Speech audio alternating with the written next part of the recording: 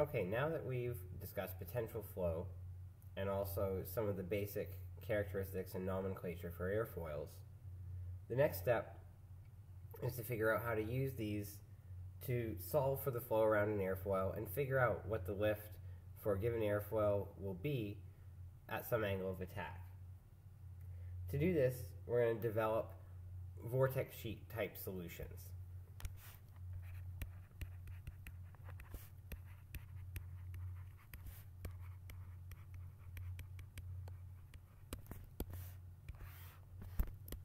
I'll move through some of these preliminary details quickly. You can find more details in the textbook and in the written notes that are posted on the course website. So recall our vortex flow.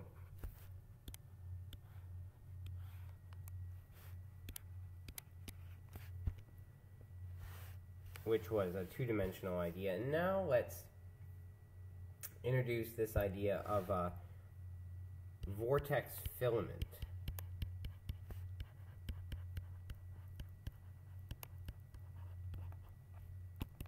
And this is nothing more than a straight line of infinite length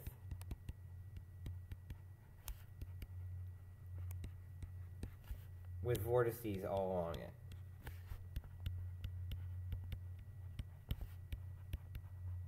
So it's taking this two-dimensional idea of the vortex and extending it into three dimensions. So this would be what we would call a vortex filament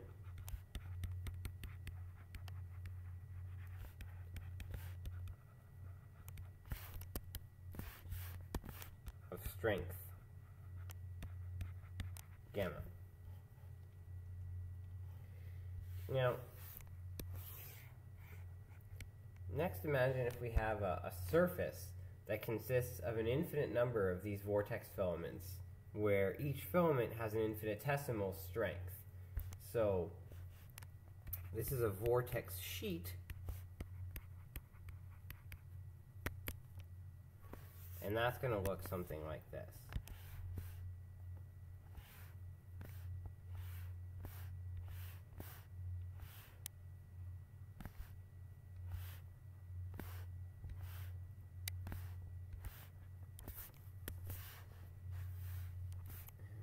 Join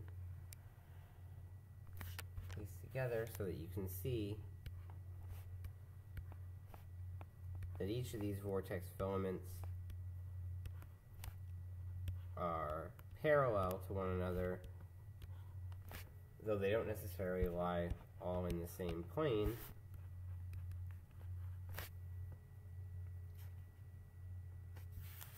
So that we have a three-dimensional surface um, which is essentially a uh, extrusion of a curve in 2D space. Now, if you think of a edge-on view of the sheet,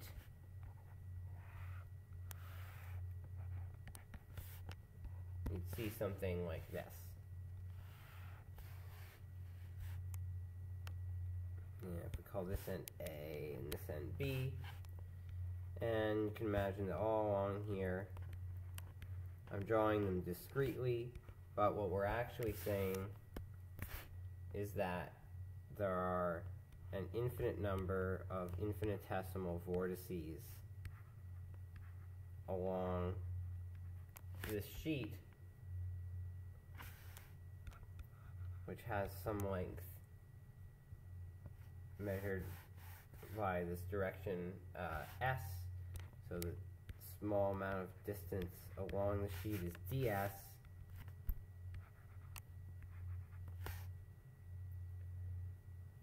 And if we consider some point P of x and z away from the surface, then uh,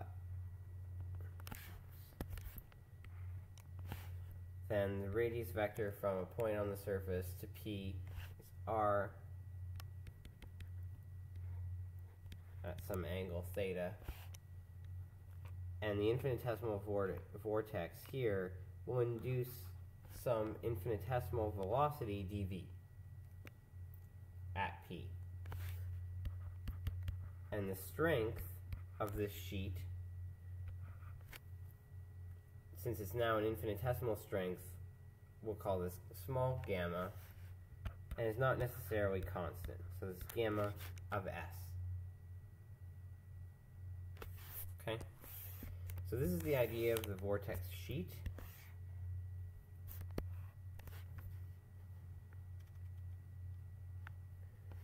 Now, if we go back to the equation for the induced velocity field from a, a single vortex, we had v theta is minus gamma over 2 pi r.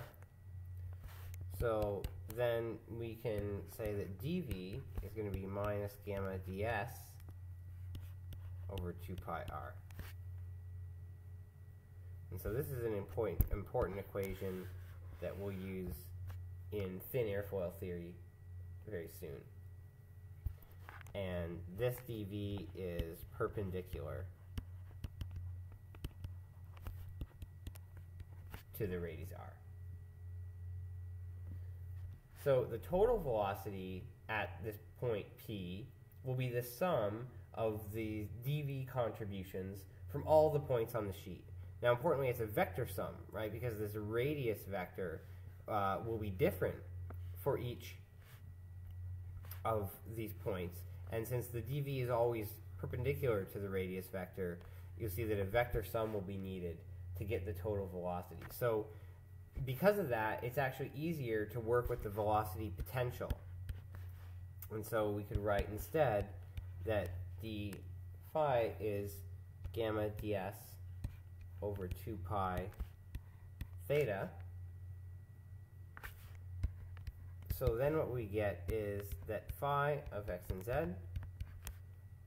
the velocity potential field, is negative 1 over 2 pi the integral from a to b, from one end of the sheet to the other, of theta gamma ds. And this equation is very fundamental to the vortex panel method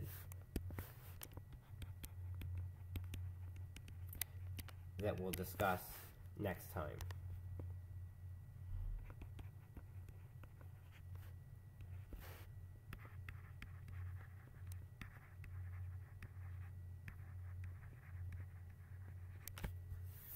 Okay.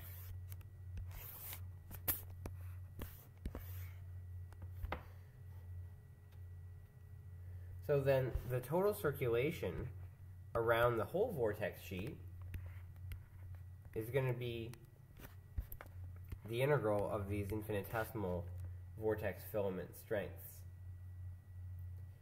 Now, this means that for a vortex sheet, there's going to be a discontinuous change in the tangential component of velocity across the sheet. The normal component is preserved and, and unchanged. So what's important then is how to relate the delta in tangential velocity to strength. So you can think about this by drawing a picture. Here are vortex filaments distributed along the vortex sheet. And if we draw a little control volume, there's some x velocity u1 on top, some other x velocity u2 on the bottom, v2 on this side, v1 on this side, and this has height dn and length ds. Then the circulation around this contour is simply gamma equals minus v2 dn minus u1 ds minus v1 dn plus u2 ds. And if we simplify that, we get this u1 minus u2 ds plus v1 minus v2 dn.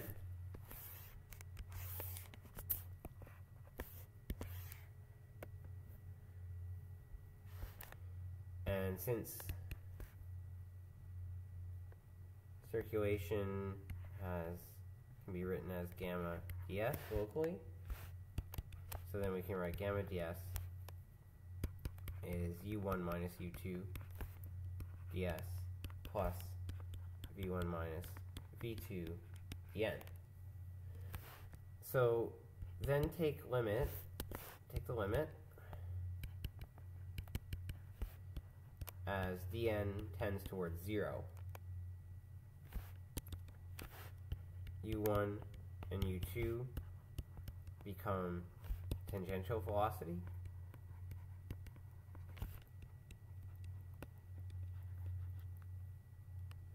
right above and right below the sheet. So then we get that gamma ds equals, since the dn has gone to 0, u1 minus u2 ds. And this can, of course, be simplified a little bit more, and we can write gamma equals u1 minus u2.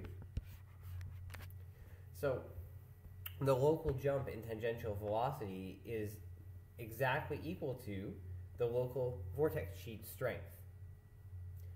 So then using this, we can develop a solution strategy for airfoils in inviscid incompressible flow. So if we have an airfoil with some incoming velocity v infinity, here's our airfoil. S direction is along the surface, and we've got vortex sheets gamma of S along the surface. Essentially, what we do is calculate gamma of S such that the induced velocity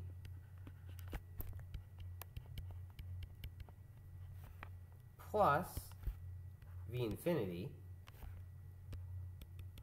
will make the vortex sheet and thus the airfoil surface a streamline of the flow.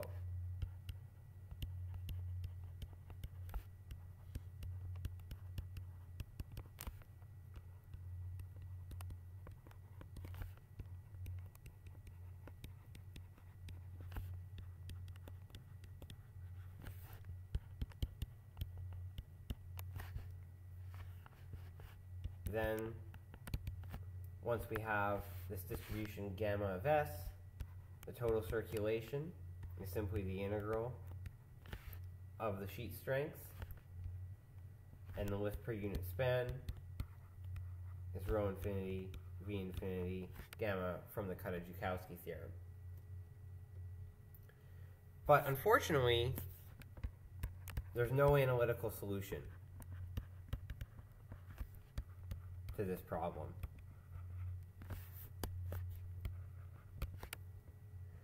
So instead, we have to solve this numerically, which is where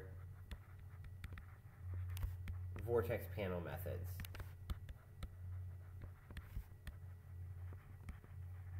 come in.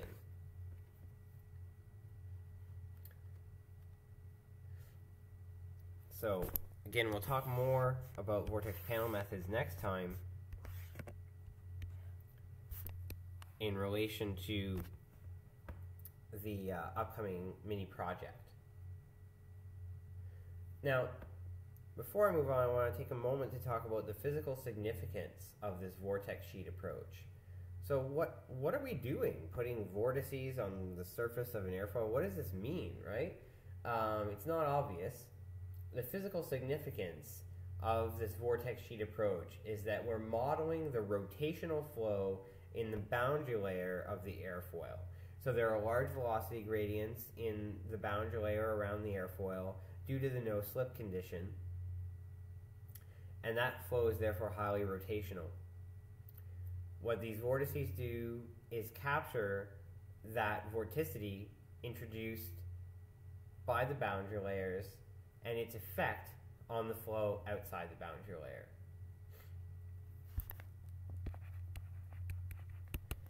Next,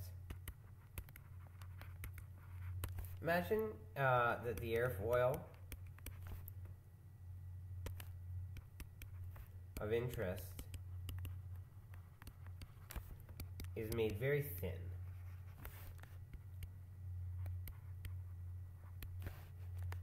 So we have our free stream velocity, and we have some thin airfoil, and we want to transform that into V infinity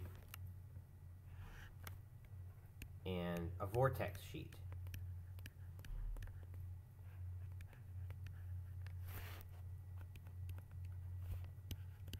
With gamma of S strength distribution. So because it's very thin, we can approximate such an airfoil with just one single vortex sheet. It's one-sided. So you don't need a, one sheet for the top and another sheet for the bottom, but just a single sheet will do for the entire airfoil.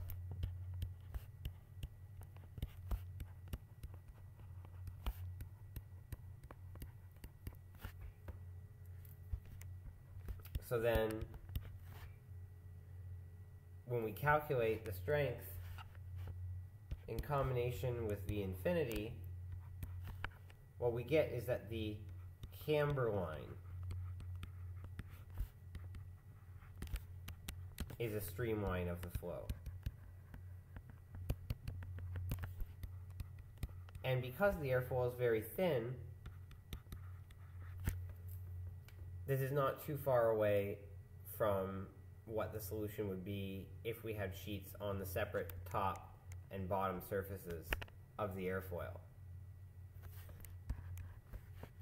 So it's important to note that it's an approximate method.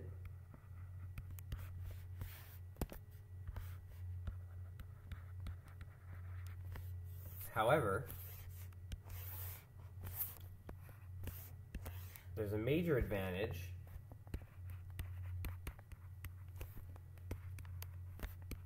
that's that we can get an analytical solution.